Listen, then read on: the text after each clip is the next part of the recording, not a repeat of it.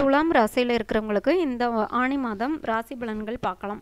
உங்கள் ராசிநாதன் சுக்கிரன் சப்தமஸ்தானத்தில் சஞ்சரிக்கிறாரு. சனி இரண்டாம் இடத்துல வக்ர இயக்கத்தில் இருக்கிறதுனால பொதுவாகவே இந்த மாதம் பொருளாதார முன்னேற்றம் அதிகரிக்கும் அப்படின்னே சொல்லலாம்.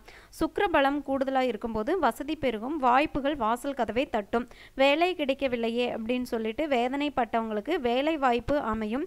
அதே மாதிரி சுபகாரியம் நடக்கலைன்னு சொல்லிட்டு கவலைப்பட்டவங்களுக்கு அந்த குறை தீரும். பாடுபட்டதுக்கான பலன் கிடைக்கும். அதே மாதிரி பார்த்திங்கன்னா கொடுக்கல் வாங்கல்களில் ஆதாயம் உண்டு. பண தேவைகள் உடனுக்குடன் பூர்த்தியாகும்.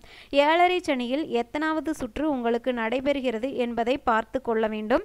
முதல் சுற்று நடைபெற்றுச்சு அப்படின்னு சொன்னால் முன்னேற்ற பாதையில் சில குறுக்கீடுகள் வந்து சேரும். இரண்டாவது சுற்று அப்படின்னு சொன்னால் இனிய பலன்கள் ஏராளமாக நடைபெறும். அதை வந்து பொங்கு சனின்னு சொல்லுவாங்க. மூன்றாவது சுற்று நான்காவது சுற்று நடைபெறவங்க ஆரோக்கிய தொல்லையால் அவதிப்பட நேரிடலாம். என்ன இருந்தாலும் சனி உங்களுக்கு ஓரளவு நன்மையை செய்பவராக தான் இந்த டைமே இருக்கிறதுனால கூடிய வரைக்கும் நல்ல பலன்கள் தான் உங்களுக்கு கிடைக்கும். அப்படின்னு சொன்னாலும் கூட மந்தன் அப்படிங்கிற சனி மந்தகதியில் இயங்குபவர். காரியங்கள் காரியங்களில் தாமதம் ஏற்பட்டாலும் கூட கடைசி நேரத்தில் கைகூடிடும் சனிக்குரிய கவசத்தை பாடி சனி பகவானுக்கு எல் தீபம் ஏற்றி வழிபடுவது சிறந்த பரிகாரமாக அமையும். சனி பகவானுக்குரிய சிறப்பு ஸ்தலங்களுக்கு சனிக்கிழமை அல்லது புதன்கிழமை சென்று கருநீல வண்ணத்தில் வஸ்திரம் அணிவித்து சுகந்த வாசமுள்ள மலர் மலையை சுற்றி வழிபடுவதன் மூலம் பிரச்சனைகள் நீங்கும்.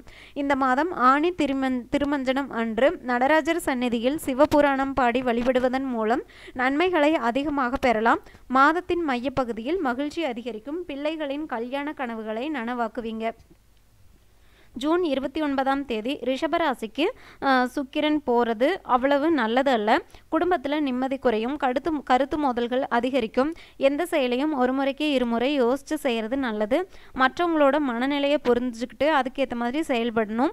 அரசு வெளியில் தொல்லைகளும் அரசாங்கத்தால் சிக்கல்களும் உருவாகலாம். வெளிநாட்டு வேலையில் இருக்கிறவங்க திடீர்னு மன மாற்றப்படுவாங்க. பண தேவைகள் கடைசி நேரத்தில் தான் பூர்த்தியாகும். பெண்வெளி பிரச்சனைகள் தலை தூக்கும் ஜூலை முதல் தேதி அன்னைக்கிலிருந்து உங்களுக்கு பலன்கள் நல்லபடியாக இருக்கும். மாமன் வழி உறவின் உறவால் மகிழ்ச்சி ஏற்படும். மன இறுக்கம் அகலும். எதிர்காலம் பற்றிய பயம் மாறும். உத்தியோகத்தில் இருக்கிறவங்க விருப்ப ஓய்வில் வெளிவந்து புதிய தொழில் தொடங்குற திட்டத்தை நிறைவேற்றிக்குவாங்க.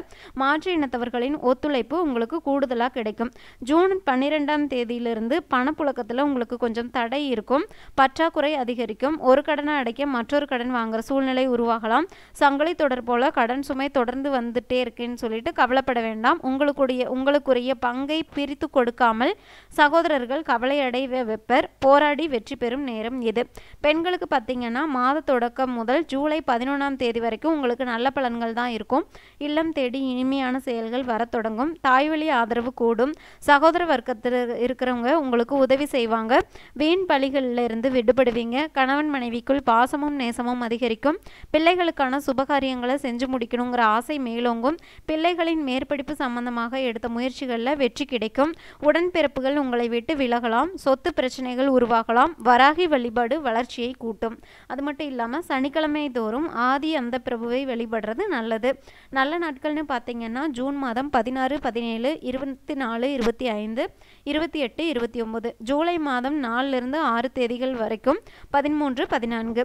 நான் உங்களுக்கு அதிர்ஷ்ட நிறம் வந்து கருநீளம் மேலும் தகவல்களுக்கு சேனலை சப்ஸ்கிரைப் பண்ணுங்கள் தேங்க்யூ